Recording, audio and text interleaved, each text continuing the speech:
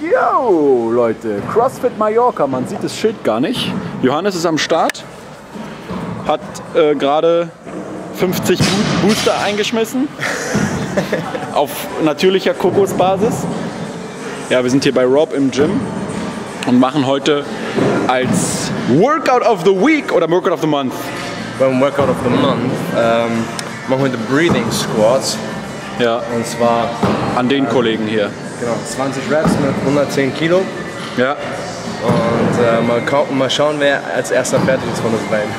scheiße. Das heißt, wir, äh, das Workout of the Month ist Breathing Squats. Ja. Ihr nehmt ein Gewicht, was ihr für 10 Reps gut handeln könnt und macht 20 Reps. Und ähm, ausschlaggebend ist dafür die Zeit, wie lange ihr braucht. Ja, mach mal einmal ganz kurz vor. Das ist aber jetzt hier ein bisschen Schummeln, glaube ich, mit den Plates da hinten drauf, oder? Keine Gewichtheberschuhe dabei und ich habe nicht die Beweglichkeit, die du hast. Okay, ich glaube, also musst du noch ein bisschen 5 Kilo mehr pro Seite dann nehmen. Okay, nee, erzähl. Also, was machen wir? Ja, Steht wieder auf und dann oben atmet ihr. okay, Entsprechend so lange, wie ihr braucht, um wieder die nächste Wiederholung zu machen. okay. Gibt es da so eine maximale Zeit, wie lange man oben warten darf, bevor man rausfliegt, oder? Nö. Nö, ne?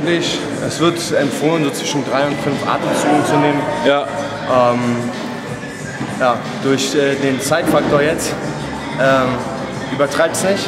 Also scheißt jetzt nicht auf eure Form, nur um schnell fertig zu werden. nee, das mache ich auf keinen Fall. Und ähm, das ist schon ein Gewicht, was schon Ja. ziemlich heavy ist. Also ähm, das heißt damit 20 Reps am Stück durchzuknallen wird schon ziemlich. Ja. Deswegen nehmt ein bisschen Zeit und auch ein bisschen mehr Zeit äh, von Anfang an. Mhm. Ja, der Trick bei den Atemkniebeugen ist eben diese 20 Reps durchzuziehen. Ja. Und ähm, nicht dann bei 18 abzubrechen, weil ihr am Anfang zu schnell gewesen seid und zu wenig Pause gemacht habt. Okay, na gut, dann fangen wir mal an. Warm gemacht haben wir uns schon ein bisschen. Ihr wisst ja alle, ganz wichtig bei Kniebeugen immer schön warm machen. Ich persönlich bin jetzt nicht so der Fan, der so sich 50 Stunden lang rumrollt auf so einen Rollen, wie Johannes das immer macht.